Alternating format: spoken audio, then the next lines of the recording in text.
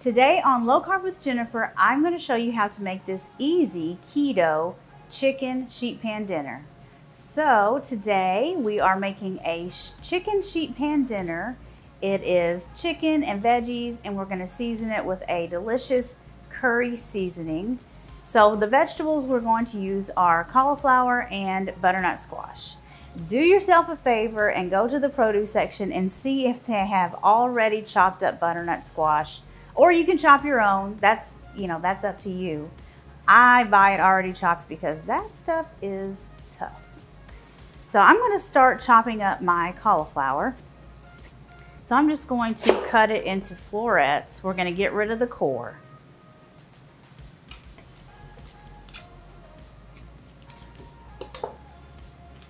So you can make the florets as big and as small as you want. They don't have to be perfect, just kind of chop it up.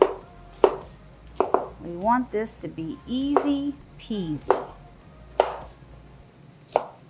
Okay, there's our cauliflower. We've got our butternut squash.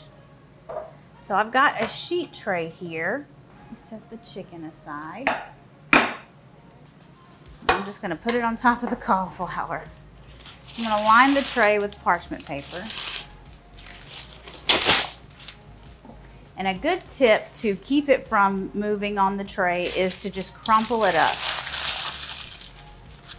Makes it a lot easier to work with.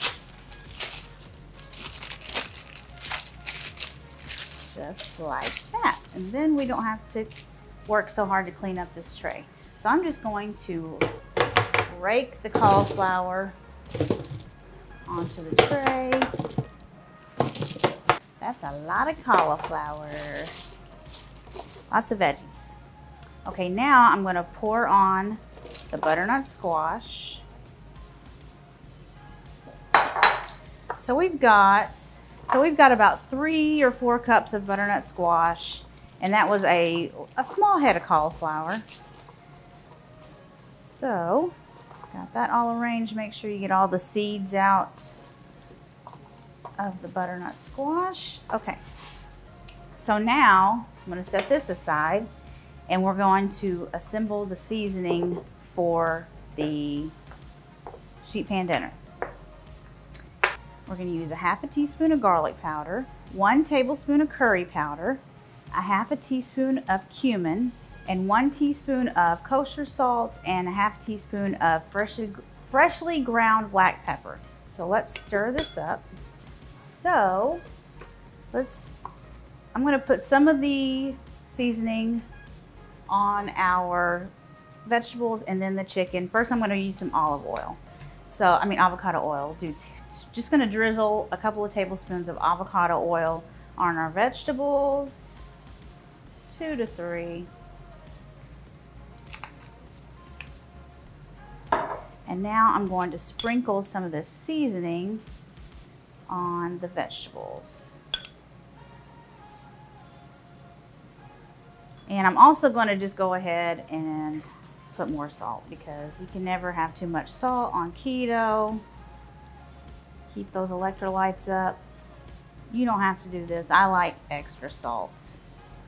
And if you want, you can do extra pepper too. I can smell that curry powder. So now I'm going to lay the boneless, skinless chicken thighs on top of the vegetables. All of the juices and the fat from the chicken thighs are just going to make the vegetables so good. Okay, set this aside. And now we can use our seasoning mix to uh, season the chicken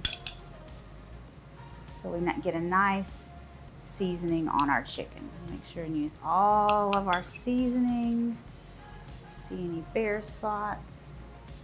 How easy was that? This is going to bake in a 400 degree oven for about 30 minutes. You want to make sure that the chicken internal temperature is 165 degrees. Look at how good that chicken looks. The vegetables are perfectly tender. Let's get a taste and make sure they're perfectly seasoned. Make sure they've got plenty of salt.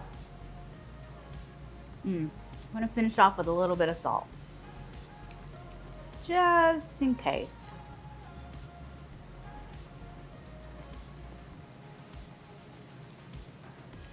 Let's try some of our juicy chicken.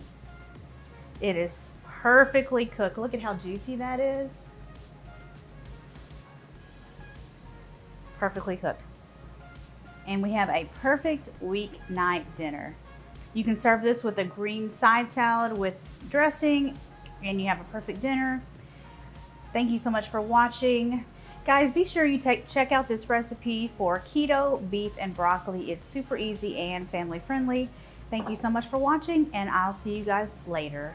Bye.